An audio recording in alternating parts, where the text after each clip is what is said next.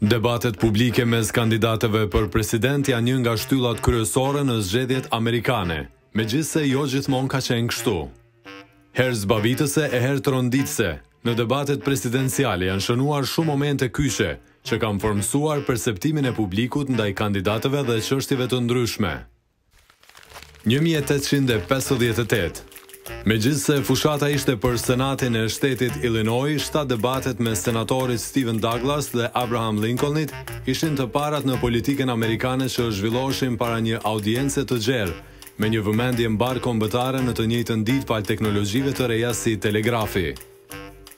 Një mijë e nëntëqind e dyzet e tetë Debati në radio mes guvernatorit të New Yorkut, Thomas Dewey dhe ish-guvernatorit të Minesotës, Harold Stassen, gjatë zgjedhjeve paraprake republikane, ishte debati i parë presidencial i regjistruar me audio. Tema ishte nëse Partia Komuniste duhej të shpallej e jashtëligjshme. Një mijë e nëntëqind e gjashtëdhjetë. Në debatin e parë presidencial televiziv, pamja kishte rëndësi. Nënpresidenti Richard Nixon, favorit në zgjedhje që po vuante nga një lëndim në gju, refuzoi të vendoste grim në fytyrë para debatit dhe djersiti nga dritat e studios. Në pamje, ai dukej i zbetë dhe i sëmurë. Nga ana tjetër, senatori John F. Kennedy dukej i fuqishëm dhe energjik, gjë që i dha atij një avantazh të lehtë pas debatit. Një mijë e nëntëqind e shtatëdhjetë e gjashtë Gjatë këtij debati me ish-guvernatorin e Xhorxhas, Jimmy Carter, presidenti Gerald Ford bëri një deklaratë të gabuar kur tha se nuk ka dominim sovjetik në Evropën Lindore. There is no Soviet domination Një mijë e nëntëqind e tetëdhjetë Pak para një debati paraprak republikan në New Hampshire me ish-ligjvënësin e Teksasit, George HW. Bush, ish-guvernatori i Kalifornisë, Ronald Reagan, ftoi edhe kandidatë të tjerë republikanë të merrnin pjesë. Zoti Bush e refuzoi ndryshimin, gjë që shkaktoi një përplasje që çoi në largimin e kandidatëve të tjerë nga skena.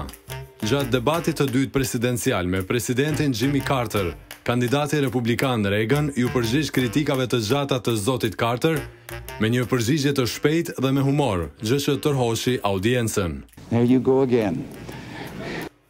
Një mijë e nëntëqind e tetëdhjetë e katër, Në debatin gjatë zgjedhjeve paraprake demokrate me senatorin Gary Hart, ish-nënpresidenti Walter Mondale përdori parullën e një reklame të njohur, Ku është mishi? për të kritikuar mungesën e hollësive në platformën e rivalit Hart. Gjatë debatit të dytë presidencial, presidenti Ronald Reagan e ktheu në avantazh pyetjen mbi moshën e tij të thyer,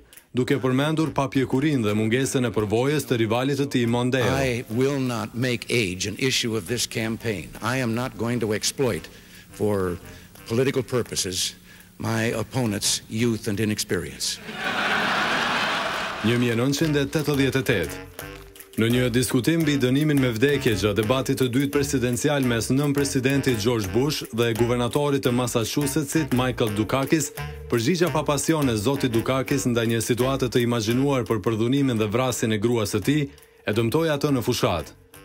Governor, if Kitty Dukakis were raped and murdered, would you favor an irrevocable death penalty for the killer? No, I don't, Bernard, and I think you know that I've opposed the death penalty during all of my life. Gjatë debatit të vetëm mes nënpresidentit republikan Dan Quayle dhe senatorit demokrat Lloyd Bentsen, zoti Quayle e krahasoi veten me presidentin John F. Kennedy. Zoti Bentsen reagoi, duke i thënë atij se jo, ti nuk je Jack Kennedy. I served with Jack Kennedy. I knew Jack Kennedy. Jack Kennedy was a friend of mine. Senator you're no Jack Kennedy. Një mijë e nëntëqind e nëntëdhjetë e dy Gjatë debatit për nënpresident, admirali në pension, James Stockdale, numri dy i kandidatit të pavarur Ross Perot, zgjodhi një formë të pazakontë për ta prezantuar veten në fjalën hyrëse.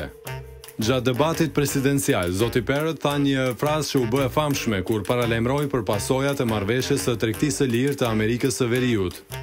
Ndërkohë, George HW. Bush tërhoqi vëmendjen me gjestin e tij duke kontrolluar orën vazhdimisht gjatë debatit.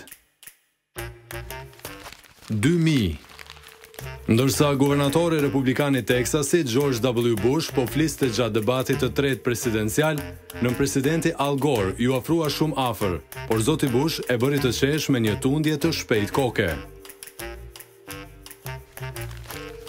Dy mijë e tetë Kur senatori republikan John McCain kritikoi senatorin demokrat Barack Obama gjatë debatit të parë presidencial për komente të pamatura të politikës së jashtme, zoti Obama i kujtoi rivalit McCain deklaratat e tij në të kaluarën.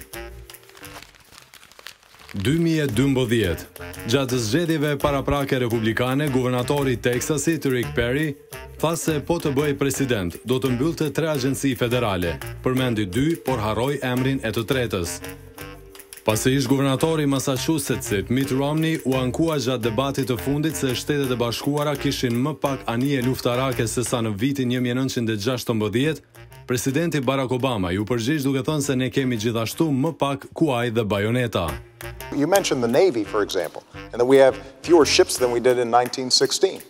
Well Governor, we also have fewer horses and bayonets.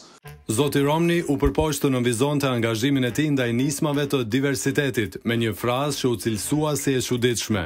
I went to a number of women's groups and said can you help us find folks and they brought us whole binders full of women. Dy mijë e gjashtëmbëdhjetë. Gjatë zgjedhjeve paraprake republikane, biznesmeni Donald Trump siguroi shikuesit se as duart e tij dhe as diçka tjetër nuk janë të vogla.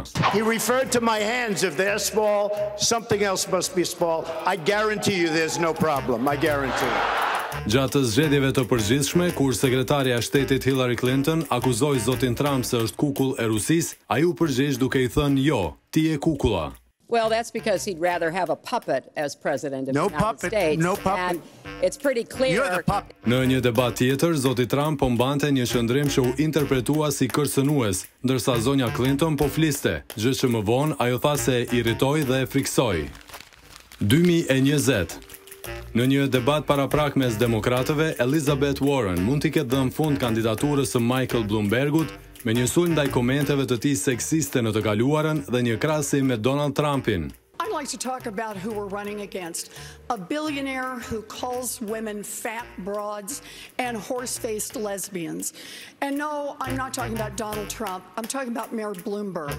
Gjatë një debati kaotik në zgjedhjet e përgjithshme, Donald Trumpi i bëri trysni Joe Bidenit nëse do ta rriste numrin e gjyqtarëve të Gjykatës së Lartë.